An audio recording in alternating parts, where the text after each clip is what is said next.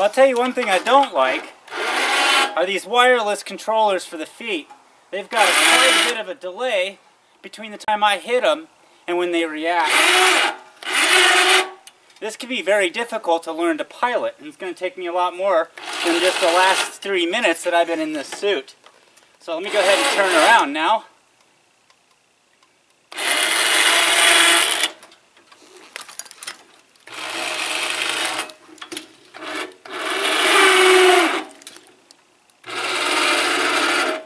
I'm trying to focus here, folks. You can see my face kind of aiming downwards.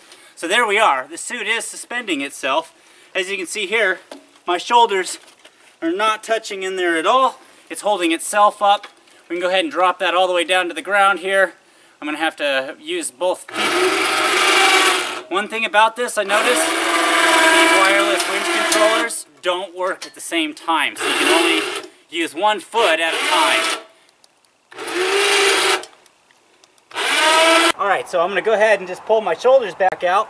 I'm hunched all the way over. Let's go ahead and lift ourselves up with it.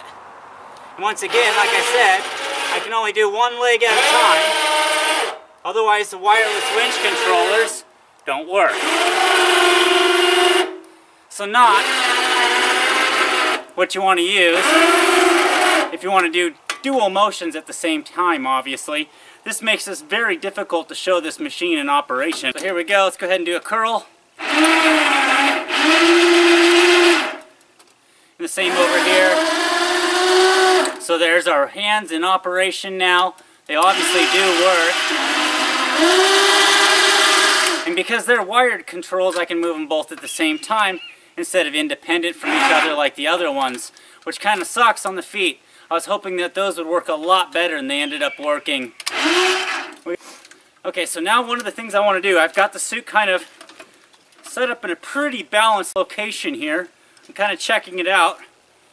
I want to do the same thing I did on the first suit test, and that's free suspend my entire body weight minus maybe one toe in the suit. Let's see if I can get out of the suit. I don't have any cables holding this thing up. The only balance to the suit is me, so this could kind of fall out of my hands here, but I wanted to show you the capability of the suit to keep its own balance. Good thing these are quick release. Well, supposed to be quick release. There you go. And there you go. And I'm going to take one foot out, the other foot out of the suit. As long as I kind of hold it up, You'll notice the suit's holding itself up now. That's not too bad for a homemade system made out of basically kind of junk from my junk pile. So let me go ahead and hop back in it again. A little trickier to get in it than it is to get out of it.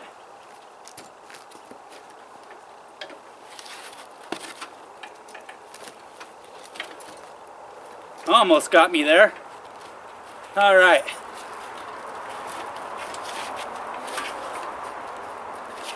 So that should be a pretty good demonstration of the suit's ability to hold itself up and that it's also rather balanced. Very little was needed for me to do that.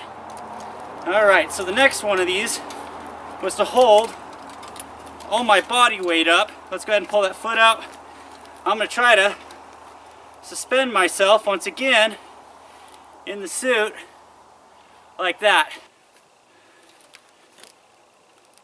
So once again, there we go, folks. I'm trying to get, let me see, I'm to lift my leg up real quick so you can see all my body weight is in the suit. So there you go. Let me go ahead and put my feet back in. There we go. So if you had any questions on whether the suit was able to support somebody on its own or itself, that should have put those questions to rest.